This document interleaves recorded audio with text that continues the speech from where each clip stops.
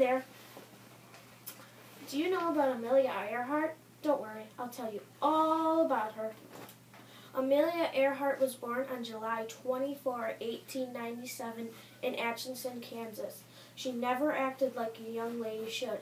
Should she always walked on stilts, jumped over fences, and even tried to make a roller coaster.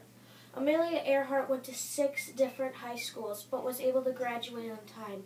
She, when she got older, her mother and her sister got her an airplane for her birthday. When Amelia got even older, she got a call to fly across the Atlantic Ocean. She did and flew the Friendship. Then, after that, she married a guy named George Palmer Putnam, and after that, she flew across the Atlantic again, but this time alone.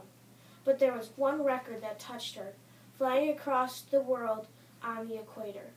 Amelia Earhart was having a good trip, and then later, when she left New Guinea, there was trouble. They couldn't hear her for an hour or so, and then they heard her, but she was not clear. She kept, they kept hearing her, but then all of a sudden there was silence. She had disappeared. Well, that's all I have to say. See you later.